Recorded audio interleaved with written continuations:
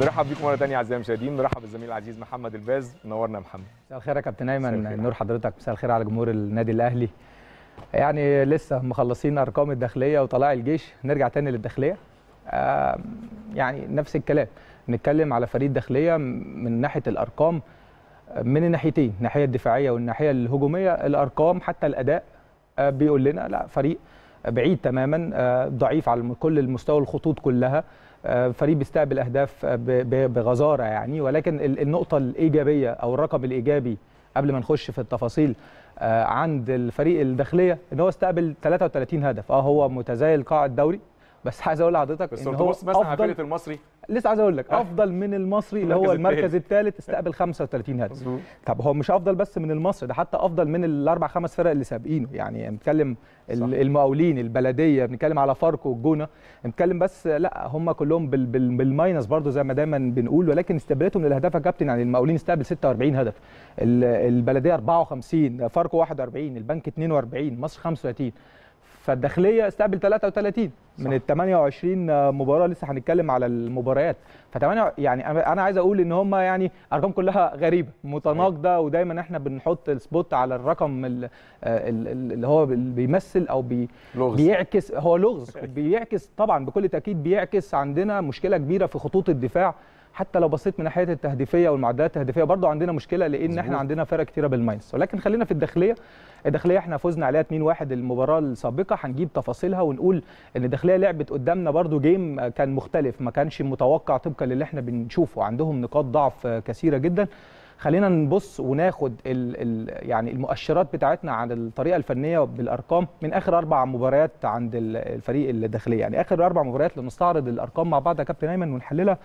عنده طبعا فوز وحيد. ده الفوز على زد ب 1-0 بضربة جزاء وعنده خسارتين وعنده واحد تعادل. ده الأربع مباريات. يعني بنتكلم هو كسب يعني تقريبا إحنا بنتكلم أربع نقاط من ال 12 نقطة. فهو معدل كسب النقاط عند الداخلية في آخر أربع مباريات. يبدو جيد يبدو جيد. ولكن طبعا عنده مشاكل كبيرة مأثرة عليه في ال في ال يعني بنتكلم في ال 24 مباراة الأولانيين في الدوري. تعال نبص يا كابتن ده اهو الشكل العام لاخر أربع مباريات علشان نشوف الن- الناحية الهجومية والدفاعية عند فريق الداخلية. التسديدات يعني نتخيل فريق سدد على المرمى في الأربع مباريات 29 تسديدة. 29 تسديدة منهم تسعة على الثلاث خشبات بدقة 31% فاحنا بنتكلم إن معدل التسديدات على المرمى والوصول للمرمى أو حتى منطقة الجزاء مش عالي خالص. يعني في مشكلة من الناحيه الهجومية في آخر أربع مباريات رغم النتيجة الإيجابية في كسب النقاط. تسديدات المستقبلة لا يعني اتشاط عليه 70 تسديده 70 تسديدة في الأربع مباريات. أيوه. فده رقم كبير جدا. مع يعني إنه مع إنه من المفترض إنه بيلعب بأسلوب دفاعي. مظبوط. لا أسلوب دفاعي هو آه يعني ي- خمسة أربعة في- شكل. آه في هيكلة في أيوة. 5 4 1 في زيادة عددية. ولكن لا في مساحات بتضربه في العمق بسهولة بتضربه بالأطراف بسهولة. ولكن لما يبقى في فريق عنده الارتياحيه أو يعني يستقبل 70 تسديدة في آخر أربع مباريات ده رقم آه، يعني خطر. رقم كبير ورقم خطر جدا منهم 17 على الثلاث خشبات. طب هم لمسوا الكورة في في منطقة الجزاء عند الأربع فرق اللي لعبوا قصادهم في آخر أربع مباريات 33 مرة. في مباريات ست مرات بس يعني هم دخلوا منطقة الجزاء لمسوا الكورة هناك ست مرات. في مباريات سبع مرات. فيعني average كده 33 في, في الأربع مباريات يا كابتن رقم ضعيف جدا. ده بيعكس الناحيه الهجومية. أحرزوا خمس أهداف في الأربع مباريات تمام؟ لأن هم كان عندهم مباراة سموحة خسروا 3 2 رغم الخسارة ولكن أحرزوا هدفين. وهدف طبعا التعادل أمام الاتحاد وهدف طبعا قدام أمام النادي الأهلي وهدف الفوز على زد. فعندهم خمس أهداف. استقبلوا بقى ست أهداف في آخر أربع مباريات. الفرص صنعوا 20 فرص أو 20 فرصة. عايز أقول لحضرتك ثلاثة بس محققة من ده الفرص بشكل عام. أيوة. هو راح على المرمى آه ال 20 فرصة فعشان آخر أربع مباريات عندهم نتائج كويسة أحرزوا خمس أهداف. فبالتالي لازم يكون في فرص. فال conversion خمس فرص آه، خمس 20 فرصة اللي منهم ثلاث أربع فرص محققة لأنه عنده ضربتين جزاء تقريبا أو ثلاث أربع يعني ضربات الجزاء طبعا بتعلي الاكس جي عنده لأن الأهداف المتوقعة قد يصل لست أهداف. وهو أحرز خمس أهداف. فيعني مبدئيا كده في مؤشرات إن هو آخر أربع مباريات رغم إن هو عنده مشكلة دفاعية واضحة وبيتسدد عليه كتير ولكن نقاط إيجابية يعني هو يعني بيصل شوية بيصنع فرص ف وكسب وكسب ماتش وتعادل في مباراة. رغم عنده خسارتين فنتائج يعني.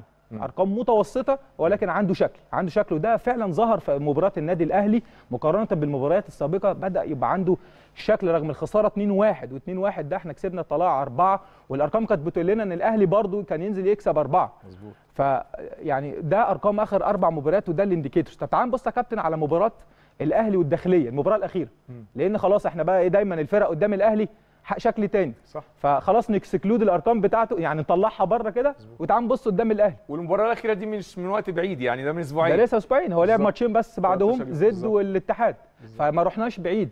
كسبنا 2-1 طب تعال بقى نبص الاستحواذ الأهلي 64% والداخلية 36% الركنيات عندنا سبع ركنيات. سددنا 19 تسديدة على مرمى ال- الداخلية رغم إن إحنا فايزين بس 2-1 أربعة على ثلاث خشبات. هم سددوا خمسة منهم واحدة بس.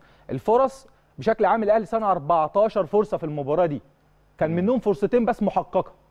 تخيل بقى الفرص المحققة عند الداخلية يعني ما فيش يعني حتى مش هو هو كان في محصة يعني أقل من واحد. أيوه. فيعني قربناها يعني فيعني جت جنب الأيام دي. بالظبط. أيوة. فهي يعتبر واحدة وده الاكس جي بتاعهم أهو كان واحد كان ممكن يصل لهدف.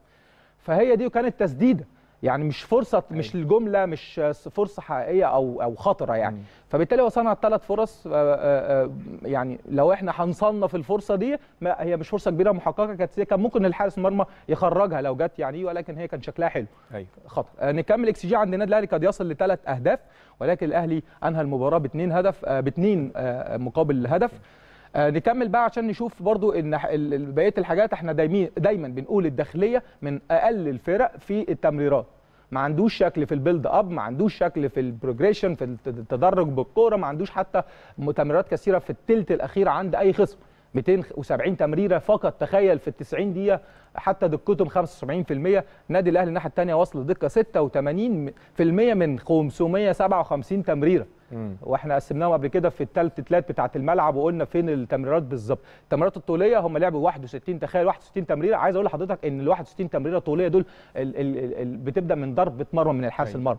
عايز يطلع يطلع بضربة مرمى عادية أو يعني على طول لمستين ويرمي قدام ب- ب- بكرة طولية.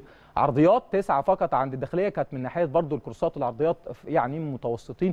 النادي الأهلي 23 عرضية.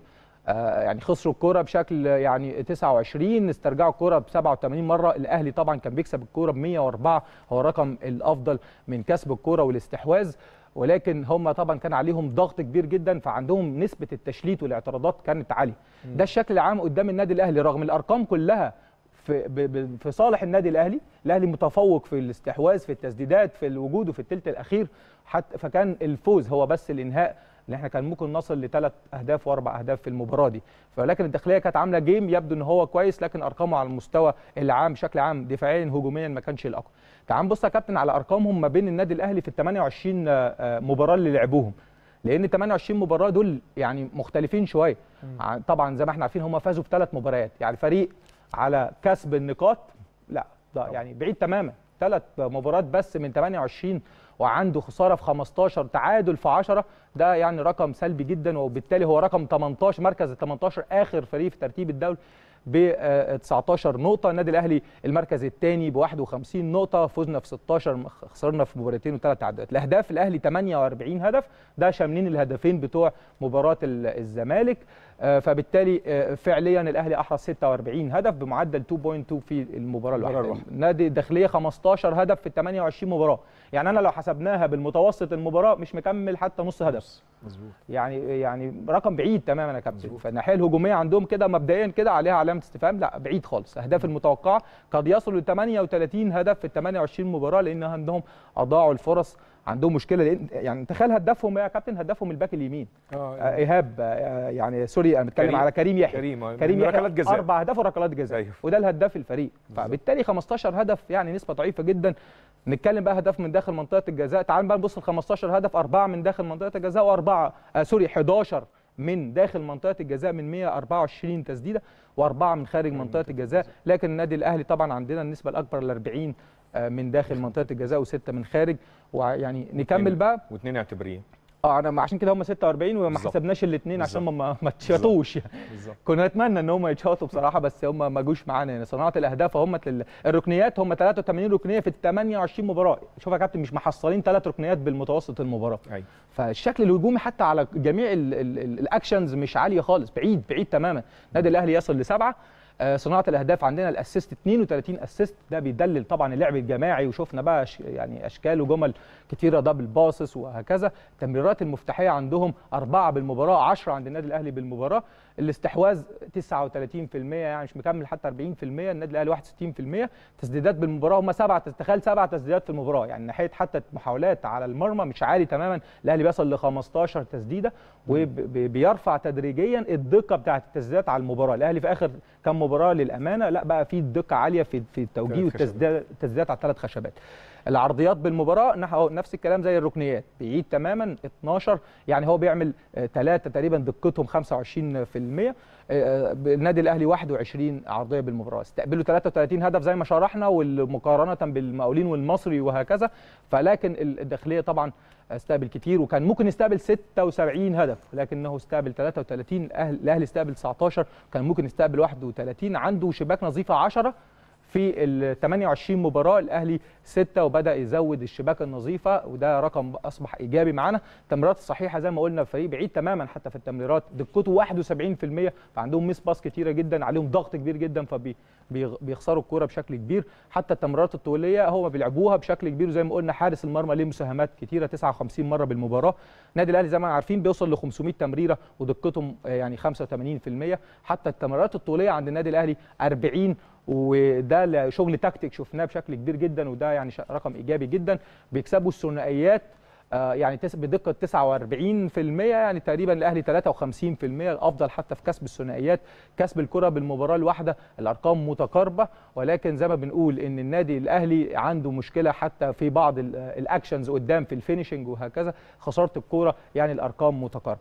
فريق الأرقام نترجمها بقى سريعا في الحالات أو الشكل الفني أو الهيكل الفني. زي ما حضرتك قلت 5 4 1 بت- يبدو إن هم يعني رصة لعيبة آه،. عندهم مشاكل كبيرة جدا في في الحاجتين. ال- ال- الاختراقات من العمق عندهم مشكلة كبيرة جدا وعندنا حالات كتيرة مكرره نبدأ بمباراة الأهلي. يعني عايز أقول لحضرتك إحنا كان عندنا خمس أمثلة من الاختراقات في العمق من من من المباراة أمام. النادي الأهلي. كلهم كانوا خطر للنادي الأهلي. فرص محققة. يعني دي دي شكل تاني. ده كان رامي ربيعة زايد. يعني هنرجع بس عشان نبص ال- ال- التنظيم الدفاعي عندهم أو الشكل الدفاعي عندهم يا كابتن. شوف خمسة ورا زي ما كنا بنقول في ثلاثة بيحاولوا إن هم يقفلوا قدامهم في عمق ال- ال- الدفاع. وزي ما أنت شايف يا كابتن الكوره في ارتياحية. إمام واقف لوحده تماما. آه، الكرة اتلعبت من رامي بكل ارتياحية. يعني في اختراق من العمق. زوايا التمرير مش مقفولة. لعبت الكرة بسرعة. نكمل نكمل. امام هنا طبعا بمعلمة بلمسة واحدة من غير ما يعني لمح بس مودست تحرك مودست هنا كان جميل جدا يا كابتن أيمن. شوف مودست فين؟ شوف إمام من لمسة واحدة. وهو مدي ظهره للمرمى لعبها لكمل الكرة. نزلت طبعا في العمق راح مودست. هي طبعا كان في مشكلة في ال finish ولكن اختراق من العمق من العمق سهل جدا. طب تعال نشوف هل ده ده في المس... في ماتش الأهلي خمس مرات. تعال نشوف بقى ماتش الاتحاد الأخير اللي هو لسه لاعبينه اللي كان آه، خلص طبعا تعادل واحد واحد. واحد. نكمل بقى الكوره دي ضربة الجزاء. الكرة اتلعبت برده بكل سهولة. اللاعب الاتحاد قطم ودخل بالاثنين جوه. نكمل. يعني ال ال ال هو باص الكرة يا كابتن كان في اثنين لعيبة فاضيين تماما تماما ما فيش أي حتى التدخل عليه. لما حصل تدخل من لعيبة الاتحاد نكمل هو خد الثلاثه في ظهره وفي لاعب قصاده فاضي أهو. مظبوط. يعني سهولة جدا. ولكن. طبعا هما دخل نكمل آه، يعني آه، حصل ضربة جزاء طبعا كان في تدخل هنا واتحسبت ضربة جزاء. فان أنت تدخل عندهم في الثلث الأخير في اختراقات من ال half spaces أو من العمق سهل جدا.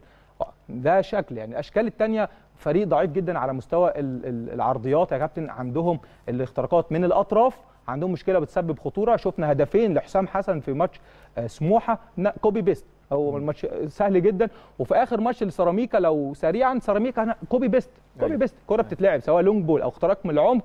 آه بالظبط. يعني الكرة هنا تتلعب يعني يبدو إن هم عددهم خمسة ستة في في الدفاع ولكن طبعا زي ما بنقول يعني نكمل الكرة سريعا الكرة نزلت هنا. بص يا كابتن دايما تلاقي اثنين فاضيين من الفريق الخصم ده فريق سيراميكا واقفين بدون رقابة بكل ارتياحية والكرة اتلعبت أي لعبة من العمق سهلة جدا.